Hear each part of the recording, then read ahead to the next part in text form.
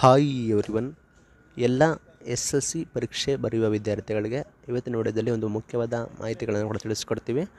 ನೀವು ಹೇಗೆ A A plus B ಪ್ಲಿ ಪ್ಲಸ್ನ ಕೋರ್ ಮಾಡಬೇಕು, ಅದಕ್ಕೆ ಎಷ್ಟು ಮಿನಿಮಮ್ ಅಂಕಗಳನ್ನು ಗಳಿಸಬೇಕು, ಅದರ ಬಗ್ಗೆ ಕಂಪ್ಲೀಟ್ ಮಾಹಿತಿಯನ್ನು ನಿಮಗೆ ತಿಳಿಸ್ಕೊಡ್ತೀವಿ.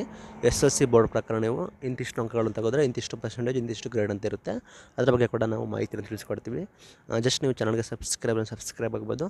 ವಿಡಿಯೋ ಎಷ್ಟಾದರೂ ನೀವು ಇದನ್ನು ಲೈಕ್ ಮಾಡ್ಬೋದು. ಬನ್ನಿ ವಿಡಿಯೋ ನೋಡೋಣ. ಇಲ್ಲಿ ಎಸ್ ವಿದ್ಯಾರ್ಥಿಗಳಿಗೆ ನಿಮಗೆ ಆರುನೂರ ಇಪ್ಪತ್ತೈದು ಅಂಕಗಳಿಗೆ ನೀವು ಬರಿತೀರಾ? ಎಲ್ಲ ಎಲ್ಲ ವಿಷಯಗಳ ನೂರು ಅಂಕಗಳಿಗೆ. ಪ್ರಥಮ ವರ್ಷ ಇಪ್ಪತ್ತ ನೂರ ಇಪ್ಪತ್ತೈದು ಅಂಕಗಳಿಗೆ.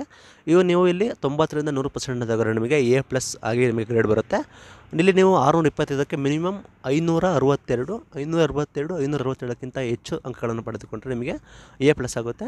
ನೀವು ಇಲ್ಲಿ ಐನೂರು ಅಂಕಗಳಿಂದ ಐನೂರ ಅರವತ್ತೊಂದು ಅಂಕಗಳ ಮಧ್ಯೆ ಇಷ್ಟರು ತಗೊಂಡ್ರೆ ನೀವು ಇಲ್ಲಿ ಎಂಬತ್ತರಿಂದ ತೊಂಬತ್ತು ಪರ್ಸೆಂಟ್ ನಿಮಗೆ ಬರುತ್ತೆ. ಅದು ನಿಮಗೆ ಗ್ರೇಡ್ ಬಂದ್ಬಿಟ್ಟು ಎ ಅಂತ ಕನ್ಸಿಡರ್ ಮಾಡ್ತಾರೆ. ಇಲ್ಲಿ ನೀವು ಆರುನೂರ ಇಪ್ಪತ್ತೈದಕ್ಕೆ ನಾನ್ನೂರ ಮೂವತ್ತೇಳರಿಂದ ನಾನ್ನೂರ ತೊಂಬತ್ತೊಂಬತ್ತು ತೆಗೆದ್ರೆ ನಿಮಗೆ ಸೆವೆಂಟಿ ಟು ಏಯ್ಟಿ ಪರ್ಸೆಂಟ್ ಆಗಿರುತ್ತೆ. ನಿಮ್ಮ ಗ್ರೇಡ್ ಬಂದ್ಬಿಟ್ಟು. ಬಿ ಪ್ಲಸ್ ಆಗಿರುತ್ತೆ. ಇಲ್ಲಿ ನೀವು ನಾನ್ನೂರ ತೊಂಬತ್ತೊಂಬತ್ತು ತೆಗೆದ್ರೆ ನಿಮಗೆ ಬಿ ಪ್ಲಸ್ ಆಗಿರುತ್ತೆ, ನೀವು ಐನೂರು ತೆಗೆದ್ರೆ ಎ ಆಗಿರುತ್ತೆ. ಈ ರೀತಿ ನಿಮಗೆ ಒಂದು ಅಂಕಗಳು ಕೂಡ ಇಂಪಾರ್ಟೆಂಟ್ ಆಗಿರುತ್ತೆ. ಮುನ್ನೂರ ಎಪ್ಪತ್ತೈದರಿಂದ ನಾನ್ನೂರ ಮೂವತ್ತಾರು ಅಂಕಗಳನ್ನು ಪಡೆದುಕೊಂಡ್ರೆ ನಿಮ್ಮದು ಪರ್ಸೆಂಟೇಜ್ ಬಂದುಬಿಟ್ಟು ಅರುವತ್ತರಿಂದ ಎಪ್ಪತ್ತು ಪರ್ಸೆಂಟೇಜ್ ಬರುತ್ತೆ. ಅದನ್ನು ನಿಮ್ಮದು ಬಿ ಅಂತೇಳಿ ನಿಮ್ಮನ್ನು ಕನ್ಸಿಡರ್ ಮಾಡಲಾಗ್ತದೆ. ನಿಮ್ಮ ಅಂಕಗಳು ಮುನ್ನೂರ ಹನ್ನೆರಡರಿಂದ ಮುನ್ನೂರ ಎಪ್ಪತ್ನಾಲ್ಕು ಬಂದರೆ ನಿಮಗೆ ಅಲ್ಲಿ ನಿಮಗೆ ಪರ್ಸೆಂಟೇಜ್ ಬಂದುಬಿಟ್ಟು ಐವತ್ತರಿಂದ ಅರವತ್ತು ಪರ್ಸೆಂಟ್ ಪರ್ಸೆಂಟ್ ಅಂತ ಹೇಳಿ ಕನ್ಸಿಡರ್ ಮಾಡ್ತಾರೆ. ನಿಮ್ಮ ಗ್ರೇಡ್ ಬಂದುಬಿಟ್ಟು ಸಿ ಪ್ಲಸ್ ಆಗಿರುತ್ತೆ. ನೀವು ಇನ್ನೂರ ಹತ್ತೊಂಬತ್ತರಿಂದ ಮುನ್ನೂರ ಹನ್ನೊಂದು ಹನ್ನೊಂದು ಅಂಕಗಳನ್ನು ಪಡೆದುಕೊಂಡ್ರೆ ನಿಮ್ಮ ಪರ್ಸೆಂಟೇಜ್ ಬಂದುಬಿಟ್ಟು ಮೂವತ್ತೈದರಿಂದ ಐವತ್ತು ಇರುತ್ತೆ. ನಿಮ್ಮ ಗ್ರೇಡ್ ಬಂದುಬಿಟ್ಟು ಸಿ ಅಂತ ಕನ್ಸಿಡರ್ ಮಾಡ್ತಾರೆ. ಇಲ್ಲಿ ವಿದ್ಯಾರ್ಥಿಗಳು ನೀವು ಉತ್ತೀರ್ಣರಾಗಿರಬೇಕಾಗುತ್ತೆ, ನೀವು ಪಾಸ್ ಆಗಿರಬೇಕಾಗುತ್ತೆ ಪಾಸ್ ಆದರೆ ಮಾತ್ರ ನಿಮಗೆ ಗ್ರೇಡ್ ಕ್ಯಾಲ್ಕುಲೇಟ್ ಆಗುತ್ತೆ. ಅನುತ್ತೀರ್ಣಗೊಂಡು ಅಥವಾ ಫೇಲ್ ಆದರೆ ನಿಮಗೆ ಗ್ರೇಡ್ ಕ್ಯಾಲ್ಕುಲೇಟ್ ಆಗೋದಿಲ್ಲ.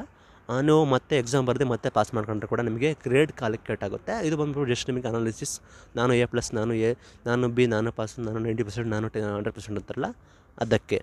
Thank you for watching everyone